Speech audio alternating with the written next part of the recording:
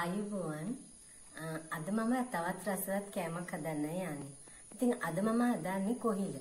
කොහිල කිව්වම ඇත්තෙම ඔබ දන්නවා කොහිල උයන ආකාර බොහෝමයක් තියෙනවා.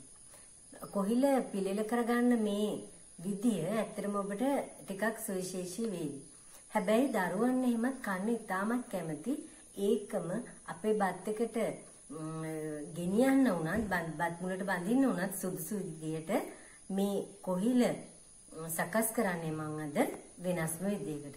ඉතින් ඒ සඳහා මම මේ වගේ කොහිල භාවිත කරන මේ කොහිල ටිකක් ඒකම කඩල පිටි, පාන් පිටි, ඊළඟට රස අණු ලුණු, කහ ස්වල්පයක්, කෑලි මිරිස්, ගම්මිරිස් කුඩු අවශ්‍ය පමණ වතුර. ඉතින් මුලින්ම මම මෙන්න මේ කොහිල ටික මේ ආකාරයෙන්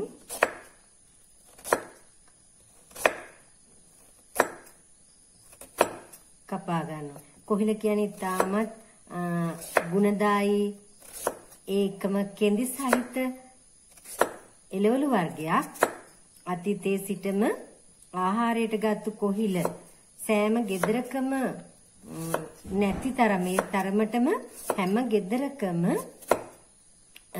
කොහිල පඳුරක් එහෙම නැත්නම් කොහිල වලක් හදා ගන්න අතීතයේ ඉඳපු අපේ වැඩිහිටියන් අමතක කරේ නැහැ. ඒකට හේතුව Taman gederම වවා ගැනීම තුල රසායන නැති හොඳ ඉතා හොඳ කොහිල ආහාරයට ගන්න පුළුවන්කම ලැබුණා.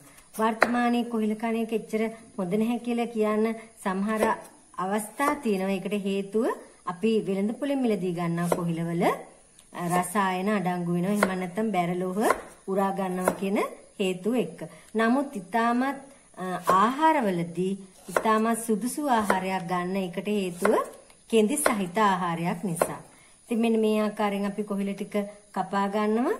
ඊට පස්සේ අපි මේ බැටර් එක හදා ගන්නවා. ඒ සඳහා මම වැඩිපුර භාවිතා කරන්නේ කඩල පිටි, කඩල පිටි හැඳි මේ වගේ එකම ප්‍රමාණයෙන් කඩල පිටි හැඳි තුනක් භාවිතා කරනවා.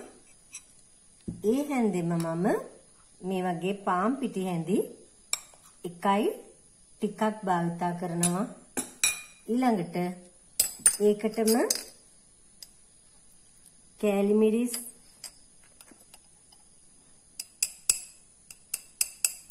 ඊටමත් ස්වල්පයක් කහ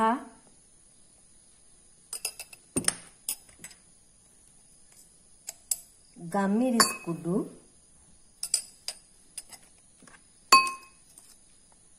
රස අණුව ලුණු එක් කර ගන්නවා. ඉතින් මේ සියල්ල හොඳින් වතුර එක් කරමින් මිශ්‍ර කර ගන්නවා. සමහරලාට අපිට කඩල පිටි කහපාට නිසා අවශ්‍ය වෙන්නේවත් නැහැ කහ. නමුත් කහ ටිකක් එක් කරනවා නම් තව ටිකක් හොඳයි. ඉතින් මේ වගේ බැටර් එක හදාගෙන අපි ඊළඟට ඒ අතරෙදී අපේ ලිපෝන් කරගන්නවා. අපි මේක ගැඹුරු තෙලේ බැද ගන්නවා. පොඩි අයට හිතා ගන්නවත් බෑ මේ කොහිලද කියලා. අකමැති නම් කොහිල කන දරුවන් ඒ සඳහා හොඳ උපක්‍රමයක් ඒකම රස අතිනුත් ඉතාමත් ඉහළයි. මේ ඊළඟට අපි මේ බැටර් එකට අපේ කොහිල කෑලි කරනවා. එක් කරලා එක එක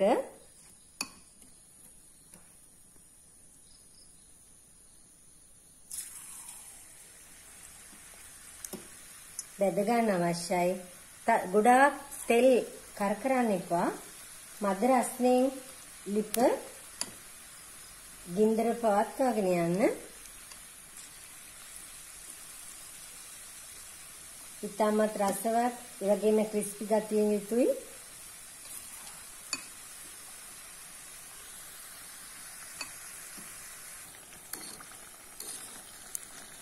මේ වගේ දෙපැත්ත හරවමින් රන්වන් පැහැවෙන තෙක් හොඳින් බැද ගන්න අවශ්‍යයි.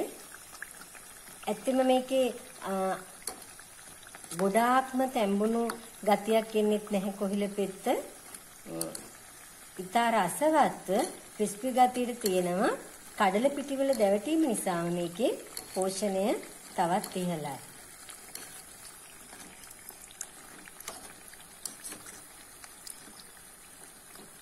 අපි මේ ටික ලිපෙන් ඉවතට ගන්නවා.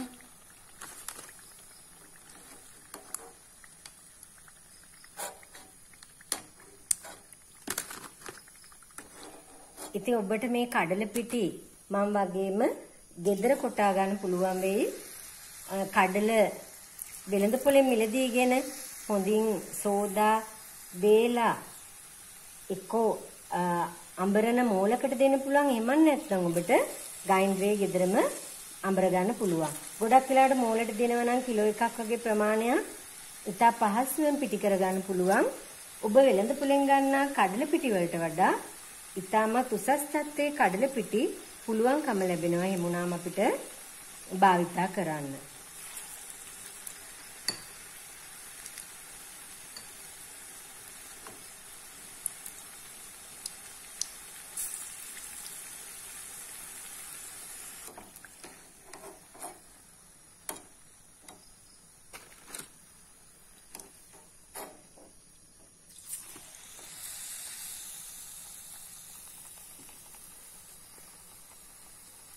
අපි කිසිම රසකාරකයක් එකතු කරලා නැහැ.